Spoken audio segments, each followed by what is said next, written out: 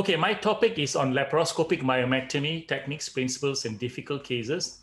Uh, as what Chui Ling said, um, laparoscopic uh, myomectomy, open myomectomy is not a difficult case. We, all of us can do it.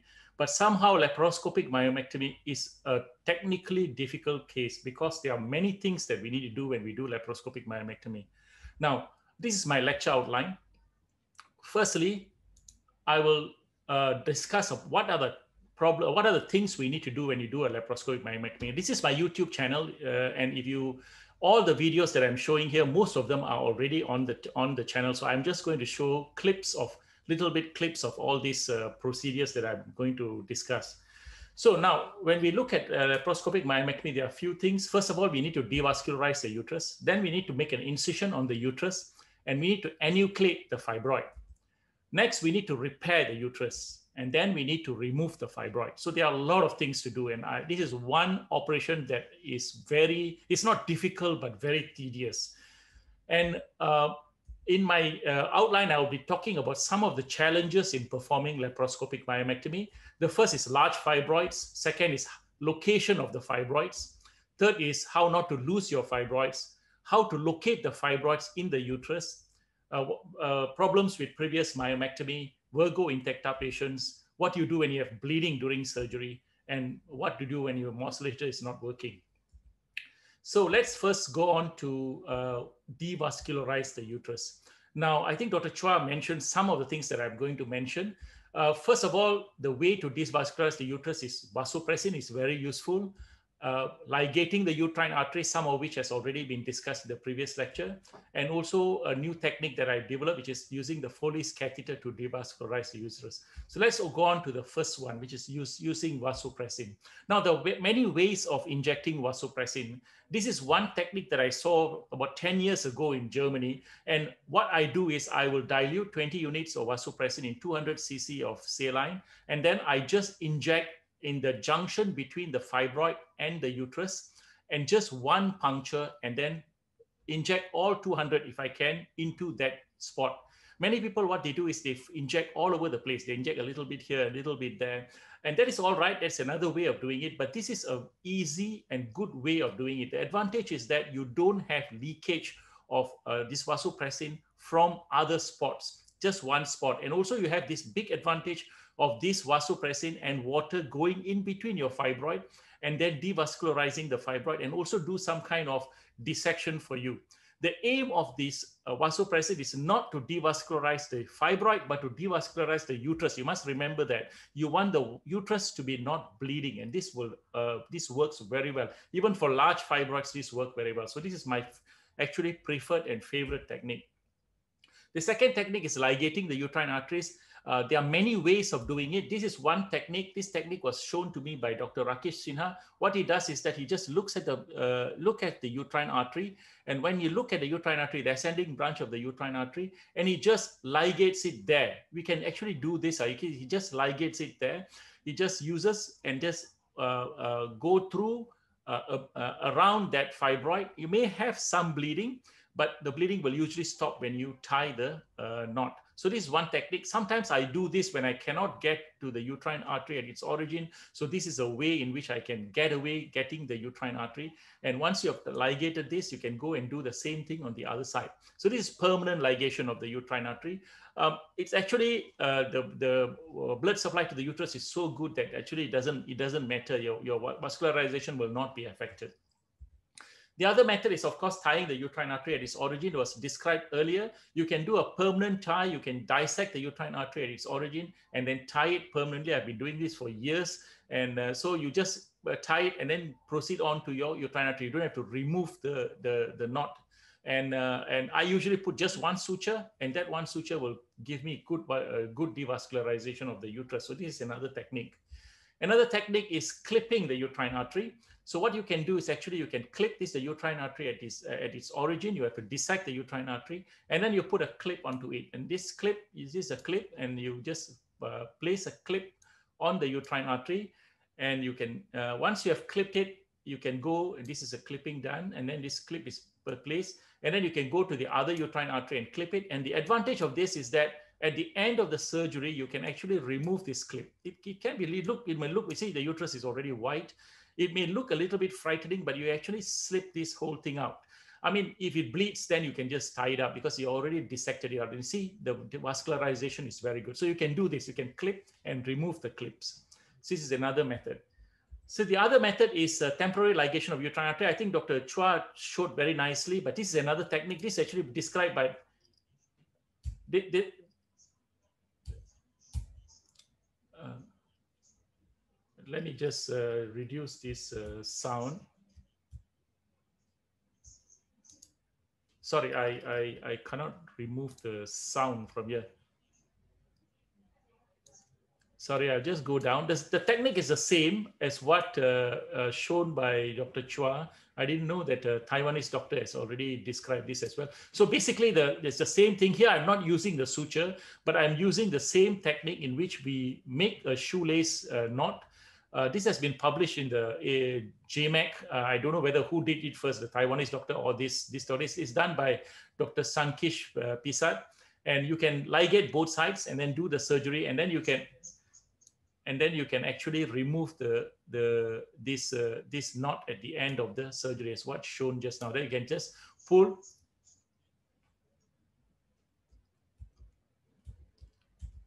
Okay, so you can just pull on the on the knot and, and then it, it can come out. So this is another technique that you can do. It is described as a shoelace technique.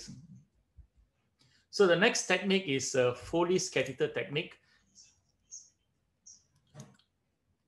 So in this case, you see, when we do open open laparoscopy, laparoscopy,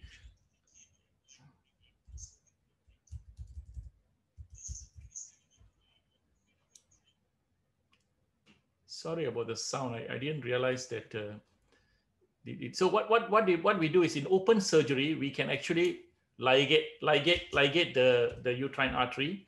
Uh, we can we use a Foley's catheter and but what what I did is I brought in a Foley's catheter into the abdomen, okay, and then uh, make a tie around this. Uh, uh, uh make, make, just make a knot. The only problem is how to keep this knot taut that was the biggest headache. So what, what I did is, uh,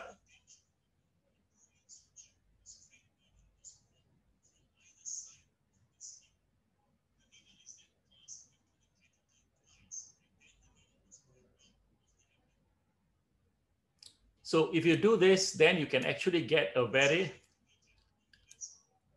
so you repeat it on either side. So what you are doing is actually, you are actually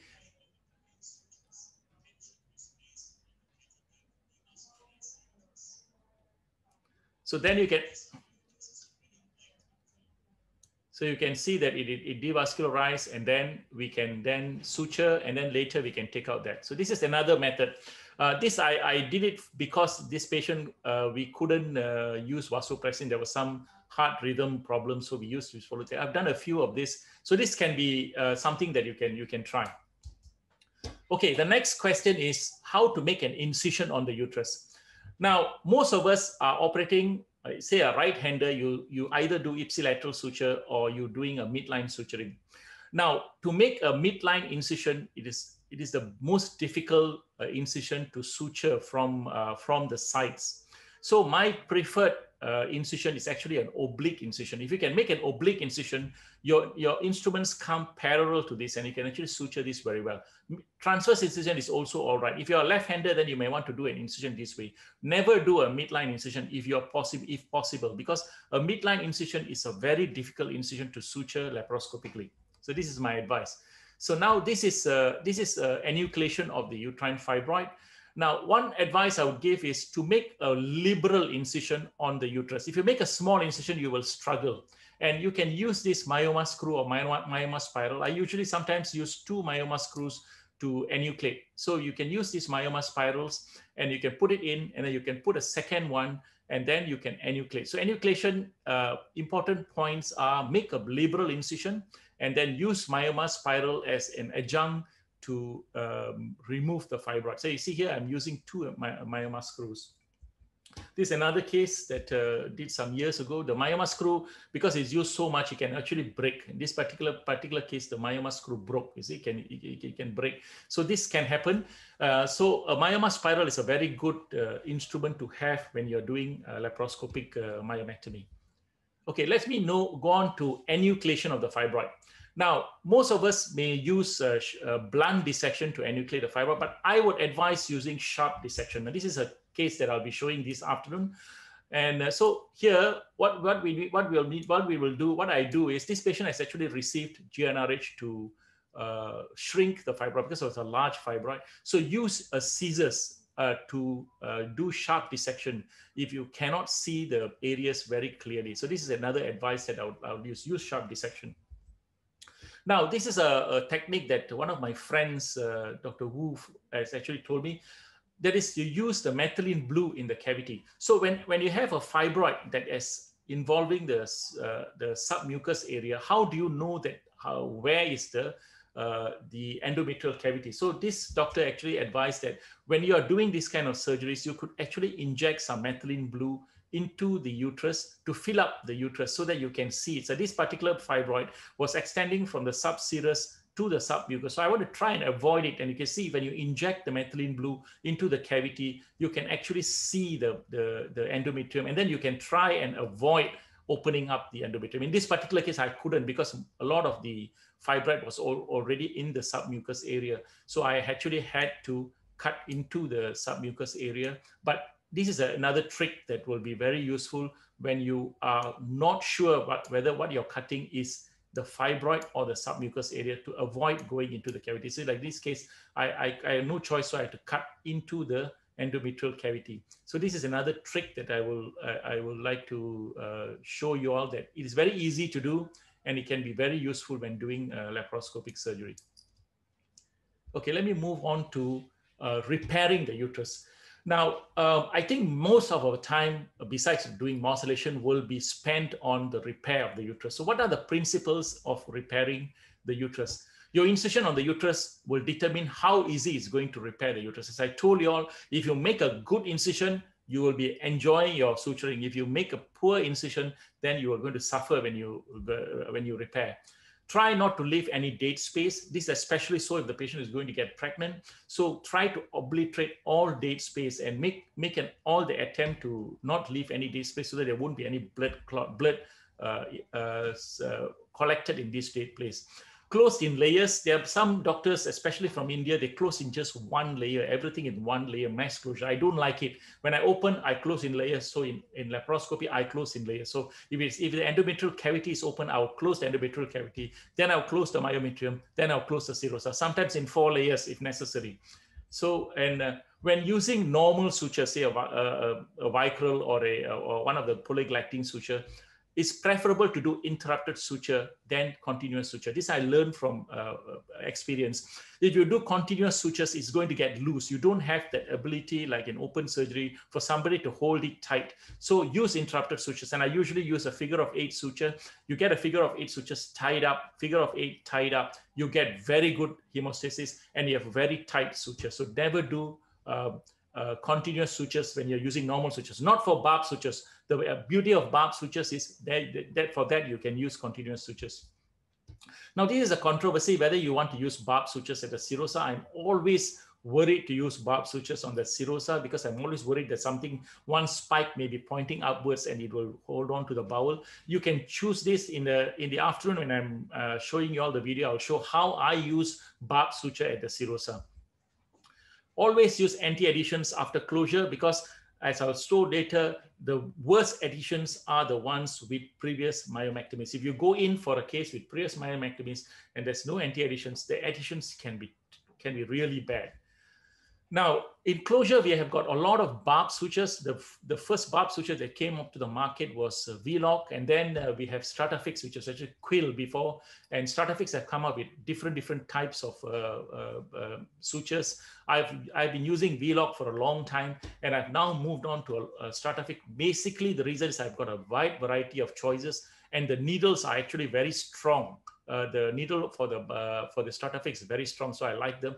And here, this particular needle, something that I would like I, I like to use. I will show this in the afternoon. It has got 72 inches of length, and you can usually literally suture everything with this. And I will show you because it has got two two sides, two needles on either sides, and you can use that. This is another barb sutures that you can use. This is a barb suture that's similar to V-Loc. So using barb sutures will make your surgery very very nice. So I will not talk about suturing here because I've got an afternoon session where I'll spend a lot of time suturing, but I'll give you all one advice. When you have this kind of uh, uh, incisions, you have a deep uh, intramural fibroid. You can see the endometrial cavity here, and you can see that the incision is actually very narrow. I've already taken out the fibroid. Uh, putting in a barb suture here can be quite difficult because when you take the first stitch, then when you're taking the second stitch, you may not get into the right space. So one advice I would give you all is to do interrupted sutures. Now that's what I'm showing here. What I'm doing is I'm taking uh, four interrupted sutures, but I don't tie them first. This is the first interrupted suture. You take the suture and you don't tie it. You leave it open, uh, leave it, and then you go on to the next suture in the other angle. In this particular case, I put in four, four sutures two on either side and two in the center, and then you close. In that way, you get to the exact space. So this is another another trick that I've learned over the years that if you think that your your continuous suture may not work, you can use interrupted sutures, but don't tie them and then tie them at the end when you have put in all the stitches. And here you see when you tie, you get a very good closure of this uh, this defect. So interrupted sutures uh, separated interrupted sutures when you have narrow and deep spaces. Okay, let me see about removal of the fibroids. Now, there are many ways of removal of the fibroids. You can use power morcellation, you can do colpotomy, you can do mini laparotomy, you can cut it to small pieces. I'll quickly go through all this. All these are on my webpage. This is uh, power morcellation using a bag. This is the advan this is the, the preferred technique. Try to put it in a bag and then uh, morcellate, but unfortunately it is not easy. I use this bag called a MorSafe bag. Now this bag is just, first of all, brought it in, it's rolled and then brought it in. Then you need to unroll the bag. Once you have unrolled the bag, then you have to place the fibroid into the bag and then bring the mouth out of the abdomen. Once you have brought the mouth out of the abdomen, then the next step is actually the tail need to be brought out. You need to bring out the tail through the umbilical port once that is done, then you place the trocar inside this uh, this sleeve. And this this part is one of the part that I find it very difficult. The video of how to do this is on my YouTube channel. Uh, uh, and and then once it's once you're in, then the morcellation is nice. It's a, it's a nice procedure to do because you don't have to worry about all the small chips, and all these small chips can then be brought out. So now this is how it looks at the end. This this end can be tied up, and then we can then pull this out. Okay, we can just pull this out. Okay, all right, so this is power morcellation. Next is to do a colpotomy. This is a good technique to learn and uh, I, I would uh, strongly advise everybody to learn this. Now here I'm making a colpotomy. I put in a, a, small tube in the vagina and then making a colpotomy. My advice is actually don't do this because the, the nearer the incision is to the cervix, you get a smaller incision. Try to make it lower down so that you have a more liberal hole. This hole is usually very narrow because the uterosacral ligaments are there. And once you have done that, then you can put the fibroid in there and then pull it out of the colpotomy. And then the, the colpotomy can be either sutured vaginally if it is if it is easy vaginally, or you can do laparoscopically and, and remove it. Sometimes what happens is you have big fibroids and then you want to uh, removed through a colpotomy. So this is a, a, large fibroid. This fibroid is not going to come out through the colpotomy. So what I, I, have to do is I have to actually cut it. I usually use a knife to cut it. It looks frightening, but I've been doing it for years, so there's no problem. You can learn this. You cut it into small pieces, and you maybe cut into two or three pieces, and then you can hook it up with a, a, a suture, and then you can pull it out through the vagina. In this particular case, I'm using a ball. This ball is uh, from India and through the ball that you can actually put in an instrument uh, and this is a 10 millimeter spoon. You can then pick up this uh, suture and then you can pull it up and you can see that it can come out. You need to learn practice. It's not as easy as you think and you can struggle. Uh, there's sometimes where after doing a surgery for two and a half years, you just want to just morcellate it. Uh, so this is a large fibroid. So colpotomy is a very good technique, especially for small fibroids. Next is performing a mini laparotomy. Now, uh, uh, because of this problem of morcellation, many people have switched to mini laparotomy. Uh, this is one mini laparotomy that I did many years ago. And unfortunately, this patient actually got infected. The wound got infected. So when you do a mini laparotomy, I would urge you all to put it in a bag, any form of bag, and then do it within the bag. If you can, put in an Alexis retractor, put one of the retractors that will protect this wound and you will have a lesser chance of uh, wound infection. So these are advice I do if you want to do a mini laparotomy. Some people do a routine mini laparotomy to remove their fibroids. Another technique is if you have small pieces and you don't want to do a colpotomy and you don't want to use a morcellator, then you can actually bring in a knife and cut it into small pieces. I do this for small, small fibroids. Uh, what I do is, and then I put it in a bag and then I remove it from a bag. Another method is actually to use this instrument called Erbe Bisect. This is a very good instrument, and you can use a bisect because this is a bipolar uh, cutting. You don't need the fibroid to be in contact with the uterus. If you use a monopolar, then you have to have the uterus, the fibroid in contact with the uterus when you're cutting. Uh, so, and that can be quite troublesome. So this you can cut it into small pieces. Say you have a small three or four centimeter fibroid and you don't want to do colpotomy or you don't want to put in a morcellator, then you can do this. And then you can change your instrument to a five millimeter telescope and then pull the fibroids out through the 10 millimeter telescope. These are just uh, for thought process how to remove fibroids. Okay, let me go on to the next one. Some of the challenges in performing laparoscopic myomectomy. I think I have to rush. These are the challenges. I'm going to go through one as quickly as possible. Large fibroids. Now, uh, large fibroids are challenging. Uh, one thing I want to tell you all is that you want to reduce the size of the fibroid when you want to before doing a laparoscopy. And i have got a lecture called tips and tricks in performing laparoscopic surgery on a large uterus. It's on my youtube channel. Some a lecture that i've given some years ago. And there are many tricks there about 12 or 13 tricks. But using GnRH to shrink the fibroid is my favorite. Now i show you this uh, this diagram. If you have an 8 centimeter fibroid your volume is 2,143. You have a 12 centimeter fibroid, the volume is 7,234. Can you imagine how much more this, this volume is and how much time you will spend lesser in enucleating the fibroid and also more morcellation. So if you two centimeter also is double. So I am a, a, a, a I've got my tolerance. If a fibroid is about 10 centimeters or less, then I don't need to shrink it. I think I can do it. But if anything more, I will always try to shrink it. And there are two advantages of shrinking it. As I shown you, volume of the fibroid will be lesser. And also the, the fibroid will be devascularized. Because the fibroid will be devascularized, it will not bleed that much when you do the surgery. So the only problem people worry about fibroids uh, uh, giving GnRH and unlock is that you may have difficulty in enucleating, but it's not all that difficult. I'll give you an example. This is a 43-year-old doctor referred to me by another gynecologist.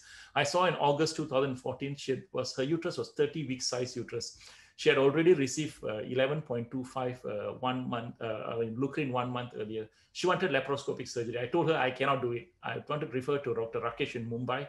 And she said, please uh, try your best. So we agreed. We given her another Lucrin and I saw in October, the fiber actually has shrunk to 28 week size. I gave her a second dose of Lucrin. And after that, she couldn't tolerate it. This is what how big it was. The five, there were two fibroids. One fibroid was 15.5 times 10.21. Another fibroid was 7.7 times 9.2. So I went in for the surgery. Two weeks later, she came back and then we went in for the surgery. And this is the surgery. Uh, it was a large fibroid. One thing I learned uh, over the years is that if you have a large fibroid, it is most of the time subserous. Very rarely you get an intramural or a submucous large fibroid because the large fibroid means these are patients who just kept it and didn't even know that they have a fibroid. So that's the advantage. You have subserous fibroids, how big you actually can do it. You just have to have a uh, prepare the patient to do it. So here I took out the first fibroid and then I sutured the defect by using a V-Loc suture. And after finishing uh, suturing the V-Loc suture, as I told you all, my favorite is actually to use uh, the V-Loc or the barb suture in the inside and also interrupted uh, sutures, figure of eight sutures on the serosa. Once that is done, I go and remove the second fibroid. And then uh, this fibroid was then enucleated. And then uh, that uh, defect was also sutured. So after suturing, then we have this problem of morcellating this fibroid. And so once this sutures is done, morcellation, this is done in 2014. At that time, bags were not a big issue. So we morcellated it without a bag. And so this surgery took about three hours, but the weight was almost 1.6 uh, kg. One of the bigger fibroids that I've done. So uh, next is location of fibroids. Now, as I told you all earlier, many of the big fibroids are the subserous fibroids. And when I see a subserous fibroid, if it is even 15 centimeters, I'm not worried. I mean, it is usually easy to do. But if it is an intramural fibroid, I am very cautious because intramural fibroids are more difficult. And I had this, uh, uh, un, uh, I mean, experience of actually removing a 10, mil, 10 centimeter intramural fibroid and then managed to do it. A single lady managed to repair everything. And actually she bled uh, during the night and into the capsule and I had to actually go and open up and remove the his uterus. So intramural fibroids, be very careful. Now, cervical fibroids can be very difficult because of the position and also the vascularity. This is an example of a cervical fibroid. So if you have a cervical fibroid, be very careful. You want to try and tie up the uterine arteries, devascularize the uterus properly before you do the cervical fibroid. So the location of the fibroid is important in deciding whether you can handle this uh, patient by laparoscopy. Next is losing the fibroid. So this is a video that I've done, how not to lose a fibroid. Now, the aim of, uh, uh, of uh, this is an example of a fibroid. There are so many fibroids. So what I do is I bring in a Prolene's uh, uh, needle, straight needle. This is my favorite needle. And I will then string all these fibroids first before I proceed on to the surgery. I will remove one or two first, and then I'll start stringing them. And stringing them is just this way, just go through uh, uh, through and through the, the fibroid, and then you go one after another. And once you have gone through another another uh, uh, trick is that use a tenaculum, use a laparoscopic tenaculum. When you hold a laparoscopic tenaculum, you can hold the fibroid, and it is easy to actually go through the fibroid. So you can go through all these fibroids. Once you have done all the fibroids, you don't want to uh, have this nightmare of losing a small fibroid. You want to try and get all the fibroids out of the way and it's all hitched up nicely on the surface and it's you see it's like a like a chain and it's there. And then you can go and repair your uterus. Once you have repaired the uterus then you can deal with the fibroid. You can remove the fibroid. So here, here what i do is i i don't want to worry about the fibroid while i'm repairing. So once the repair is done you can tie these uh, fibroids all together. Then you can either do a colpotomy and remove it or you can put it in a bag and do a morcellation so this, so try not to lose your fibroids and always chain them up before you uh, before you perform the surgery before you uh, go on to repair the uterus okay next advice is locating the fibroid during laparoscopic myomectomy now one of the nightmares i have is that when i have many fibroids i removed so many i'm always worried that i've left behind one fibroid and so i need to make sure that i've removed all the fibroids so this video i, I created uh, and it's on the YouTube. There are actually several ways of doing this. These are the ways in which to do this. The four techniques that I've described is transvaginal ultrasound during the surgery, and then transvaginal injection of methylene blue dye into the capsule of the fibroid, mini laparotomy, and intraoperative ultrasound. Now, we all know about transvaginal ultrasound. What you need to do is you need to have the patient in a Trendelenburg position, place some water into the pelvis, and then do the ultrasound. And then do, do the ultrasound. The only problem with this is that what happens, uh, one, but the problem is, so the disadvantages, so the several disadvantages. One disadvantage is if it is a Virgo intacta patient, you cannot do transvaginal, so you have to do transrectal. But the biggest problem is I cannot orientate myself uh, abdominally when I see the fibroid transvaginally, and that is the biggest problem. And then you, when you go up to the abdomen, you're not sure where to cut, make the cut. So in order to in order to avoid this problem, I devised this method called transvaginal injection of methylene blue into the capsule of the fibroid. So what I do is I attach the probe, uh, the attachment to the probe. This is a probe that is that a lot of uh, uh, IVF specialists will have. And then what I do is I go transvaginally and I look at the fibroid and I will inject some methylene blue at the junction. You can see they can inject some junction. Then when I go back to the laparoscopy, I can see that junction. So this is an example uh, I have done. And then when I go back, I can see this blue area. Can you can you hear the voice? Yeah, okay. Yes. So yeah, you can. So the so so the, the volume is there. So because you have so Chule, you can listen to the my voice from the video. Huh? No, no, no, not not from the video. Oh, not from the video, only my voice. Okay, right. So because I can hear that. So this fibroid, because of the methylene blue, I can then remove this fibroid. So you understand what I'm trying to say is the, the problem is you, you know there's a fibroid there, you do an ultrasound, but you don't know where to cut. And if you inject this methylene blue, you can have this advantage. So another problem is when you have multiple fibroids, uh, uh, you, you know, when we do a laparotomy, we put our hands in. So what I do is something called laparoscopic assisted abdominal myomectomy. So what I'll do is I will first do a laparoscopy and then remove all the fibroids. Then I'll make a small mini laparotomy. So after the mini laparotomy, what I will do is I will squeeze the fibroid. I will take out all the all these uh, fibroids from the mini laparotomy, and then I will squeeze the fibroid out of this mini laparotomy, and then I can then remove all the fibroids I can be removed. So these fibroids, once they are removed, and then I will then repair the uterus and then put it inside. So there are several advantages of doing this. Firstly, you it is a it is a mini laparotomy to remove all your fibroids that you have removed. Secondly, you can feel the uterus and you can also uh, feel for all the small fibroids and then you can repair it. And then thirdly, because you didn't put your hand in, uh, intra-abdominal adhesions will be lesser. So then you can also put in your anti-adhesion. So these are the advantages of these uh, uh, what they call as mini laparotomy to remove the fibroids. The last is actually intraoperative ultrasound. Now, this this is a this is a, a good technique. It is the only company that makes this uh, intraoperative ultrasound is this BK Medical, and I had uh, uh, uh, I had tested this, and it's very good actually. You can then do a laparoscopy.